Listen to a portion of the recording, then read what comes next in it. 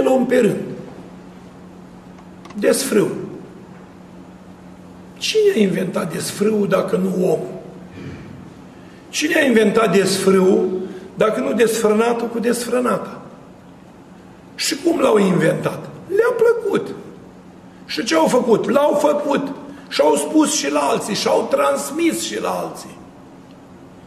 La început s-a transmis pe calea sângelui. Că ce face mama în timpul sarcinii, aceea trăiește copilul după sarcină. Preia din caracterele și simțurile mamei. O mamă credincioasă va naște întotdeauna un copil bun. O mamă necredincioasă va naște un copil zburdalnic, ei îi spun hiperkinetic. Nu, e le-a îndrăcit, adică deja păcatele tale se răsfrâng pe pruncul ăla nevinovat. Ai de două ori o sândă. Treci de această etapă și întrebi. Și cum a promovat desfrâul? Simplu. Mai de demult să destrăbălau oamenii că îi vedeau pe cananei care aveau preotese desfrânate, care trebuiau să păcătuiește în fața idolului, Popoarele iudaice au luat metoda, Dumnezeu i-a ars, i-a secerat, i-a omorât, i-a șters, i-a ars cu foc, i-a pierdut, tot de la om până la dobitoc, de aia rămâneți voi foarte surprinși când citiți în Sfânta Scriptură că e atâta omor și atâta crimă. Mi-a spus cineva, păi zice, dacă citești Scriptura, trebuie să devii criminal, ești tu criminal în minte, că ești prost. Ale au fost de-a lungul Vechiului Testament și toate simboluri. Deci ele au avut și un rol istoric, dar au avut și un rol dogmatic. În momentul în care a progresat lumea, s-au făcut casele de bordel sau randevu. Ei, cu timpul acelea s-au pus în pelicule cinematografice și în loc de scriptură, ceaslov, acatistier, vă sunt pline casele de casete pornografice. Și cine minte, minte, dar ele există. A ieșit televizorul cu 60 de canale în care te abonezi în mod special la cele cu cod, cu pătrățica albă, unde pui tu numerele. Și acolo îți dă material didactic. Cum să faci lucrul acesta? Treci peste aceasta și mergi mai departe. Vine statul și îți dă legea concubinajului, divorțul în jumătate de oră, căsătoria de probă, te învață cum să Uh, cum să te destrăbălezi în mod uh, neoficial și mai urât. Și ați văzut acum prima țintă și prima... Toate problemele sunt rezolvate la nivelul mondial. Una singură a rămas. Mai trebuie inventați preoți și cărți pentru cununia homosexualilor. Deci, vedeți, o problemă fundamentală. Fără ea, societatea nu poate merge înainte, vedeți? E o chestiune pe care oamenii o aprobă murmurând, tăcând, dar când spovedești, le auzi. Ele există. Dar oamenii nu se manifestă, sunt ipocriți. Vai, Doamne ferește! Ce Doamne ferește?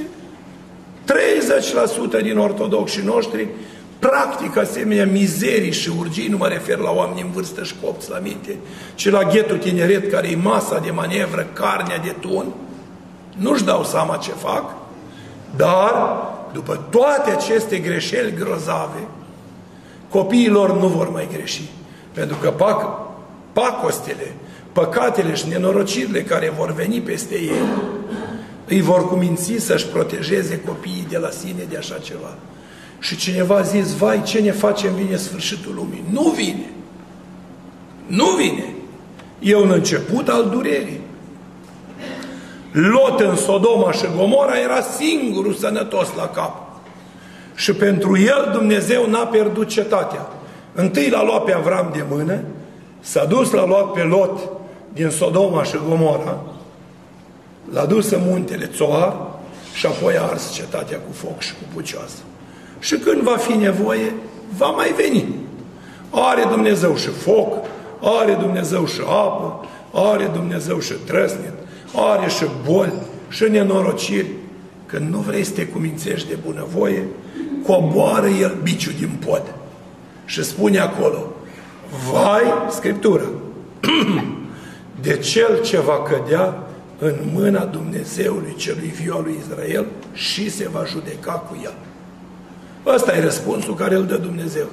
Și nu mai vorbesc de celelalte păcate, deci băutura în exces, că nimeni nu oprește să consumi, dar poți să ai măsură, țigările care nu sunt o virtute și știm că scrie mare pe ele, aduc moartea, produc cancerul, bă, și fumează berjare de oameni câte 5-6 pachete pe săptămână. Și te întrebi de beții plămânie, cum suportă atâta o travă, cum suportă atâta nenorocire. Dar când se îmbolnăvește, începe să facă cruci marșe, Doamne, dacă m-aș face sănătos, Doamne, dacă m-aș face sănătos, te faci, dar pe lumea cealaltă. Cancerul intrat odată în plămân, intrat odată în om, aduce colivioară, bomboane, coronițe, ștergărele, lumânări și colăcei. El vine precis și la obiect.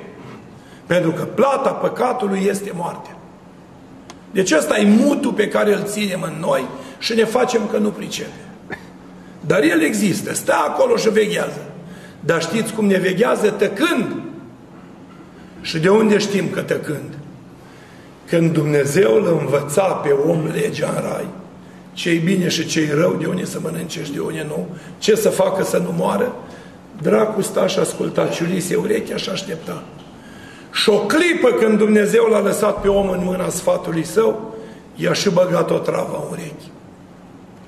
Vine omul spovedit, să pune în genunchi cu soția, cu copilul, îl dezlege, îl împărtășește, făgăduiește începutul bun, să ridică de la spovedit împărtășit și îi spui asta da, asta nu, asta nu fă, asta nu-i bine, asta nu trebuie, asta nu ajută, că Apostolul Pavel a fost un finuț. Ați văzut, nu-i bădăran ca mine, nu vă ceartă. Apostolul Pavel zice așa, toate sunt îngăduite, dar nu toate folosesc. Selectați singuri ce nu folosește. Nu o să se supere vreodată duhovnicul că ai mâncat lapte sau ou în post. Cum se supără dacă ai curvit în post. Nu o să se supere duhovnicul că ai băut tu ceai sau lapte sau ai mâncat ou sau carne dacă n-ai fumat. Mâncarea e pentru trup, dar păcatul nu e pentru trup. Spune Scriptura, aveți grijă de trupul vostru. Este templul Duhului Sfânt. Dacă cineva va strica templul acesta, eu îl voi strica pe el și îl voi pierde de pe fața pământului. Vedeți ce pedeapsa are Dumnezeu pentru minunatul ăsta de trup? Stai șase ani la medicină și tot nu înveți fiecare mușchi și fiecare os și fiecare bucată de piele și fiecare bucată din corp, să știi cum să o operezi, să o tai. Mi-a spus cineva, băuc, care sta de față la o operație, a vrut el să fie acolo de față, când se opera, îi se părea că doctorii nu știu meserie și cunoaște el. Și după ce a ieșit de la operație, a zis, vai, părinte, zice, abia acum mi-am dat seama ce înseamnă să fii chirurg. N-aș putea. Păi ce că când a deschis bolnavul ăla și era tot cancer și tumori înăuntru, și ce a început să scoată mațele alea și să le aleagă așa cum faci când faci porcul la Crăciun, și că eram în stare să le șim. Am ieșit de acolo să nu cad jos. Ei, uite, doctorul a făcut școală pentru treaba asta, are harisma asta de la Dumnezeu, să aleagă rău de bine din trupul tău. Dar gândește-te că cinci ani și-a tocit creierii pe toate anatomiile alea și după aceea mai stă cinci ani și se rezidențiază și după aia mai stă mai vreo trei și face specialitate și vreo patru și mai dă supra-specialitate și până moare tot învață boli și nenorociri. Și dacă trupul ăsta e atât de complicat la prima vedere, închipuiți-vă cât e de complicat sufletul care nu se vede. Va întrebarea. Și atunci dacă avem posibilitatea ca această carne să o spălăm, să o grijim și să purtăm grijă de ea omenește, de ce n-am purtat grijă de ea și sufletește? De ce să o păzim numai pe din afară să n-aibă gripă sau răceală sau râie sau boală și să nu o păzim și pe dinăuntru la suflet să fie albă, luminată și curată? E ca într-o casă în care ați văzut cum vă cântă în postul mare. Cămara ta o văd împodobită și îmbrăcăminte nu am să intru întrânsa. luminează-mi haina sufletului meu, dătătorule de lumină și mă mântuiește. Haina sufletului nostru e casa inimii. Dar de acolo iese ura, răutatea, dușmănia, ținerea mintea răului, toate fără de legile, toate poftele, toate nebuniile. Deci trebuie ca astăzi, când stăm de față, mintea cea oarbă și inima cea oarbă, să o punem în fața duhovnicului și pe gură să trâncănească. Dă afară iubirea de sine, mândrie, încăpățânare, orgoliu, ambiția, zavistea, răutatea, zgârcenia, răzbunarea și toate urile care zacă în noi știute și neștiute, veșmintele necurăției, putregaiul inimii, tot trebuie dat afară. De aceea spovedania și pocăința sunt singurile căi de a-l face pe trup perfect curat și spălat. Era un bătrân, cred că e mort, nu mai trăiește, l-am prins eu prin 88 la Siestria, Emanuel. Omul ăsta era un om simplu, nu le avea cu biserica. Și el vorbea așa foarte interesant. Eu m-am împretenit cu el tocmai pentru că era hâtru. Poporul nu are numai oameni deștepți, este și lume proastă.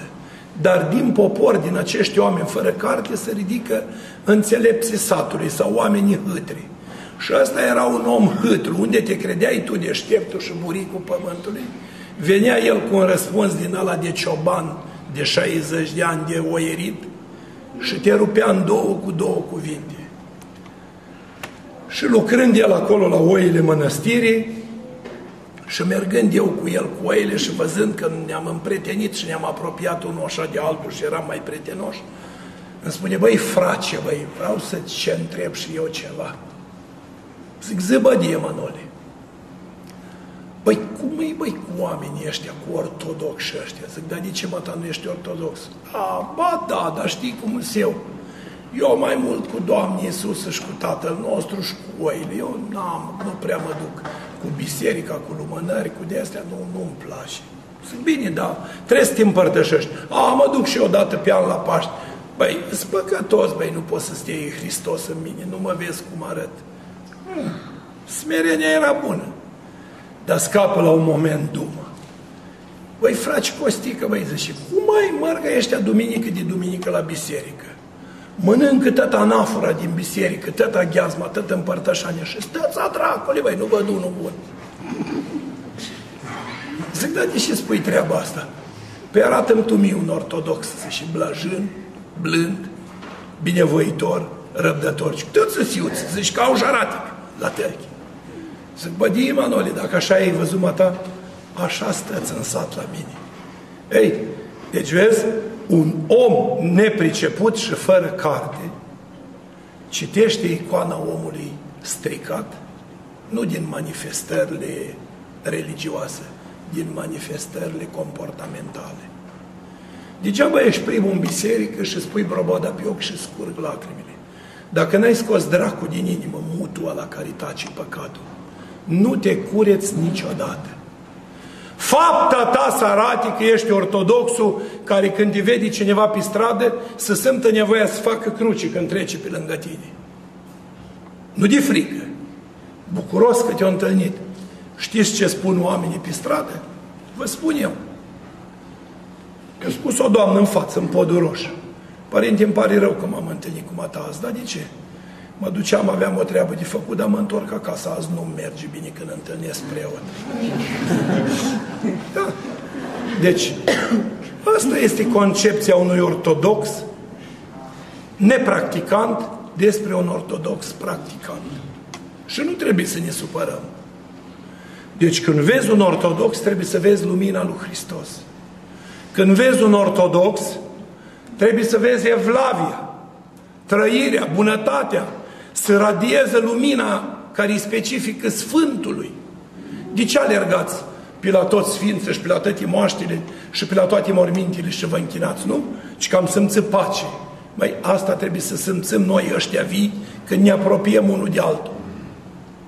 Nu să ajungi, este un proverb, Este un proverb, a apărut ieri o carte pe ei și așa am deschis-o la întâmplare și am găsit ceva frumos. Știi cum suntem noi ortodoxi? Ca un foc de paie. Ne-am aprins, am ars și s-a terminat. Jaratic nimic. Dar spune în cartea aia, zice, ce vrei să nu știe dușmanii tăi, nu spune prietenilor tăi. Ați înțeles? Deci cei care tu ți-i crezi prieteni ortodoxi, tocmai sunt dușmanii tăi. Și asta nu-i place lui Dumnezeu. Și vom rămâne veșnic și muți și orbi. De două ori. Cu ochii ăștia nu vedem voia lui Dumnezeu și nu o lucrăm, iar cu ochii inimii și amință nici nu vrem să o pricepem, dar nici nu vrem să o învățăm.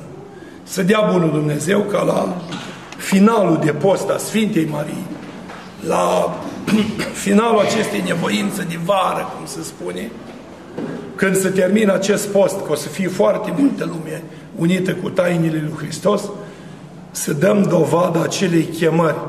Doamne, vreau să văd. Ce să vezi? Cât de mult te-a putut schimba rugăciunea, cât de mult te-a putut schimba împărtășania, cât de mult te-a putut schimba evlavia, cât de mult te-a putut schimba smerenia, cât de mult te-a putut schimba spovedania și cât de mult te-a putut schimba sau s-a schimbat în jurul tău toată viața ta prin schimbarea comportamentului personal. Amin. Să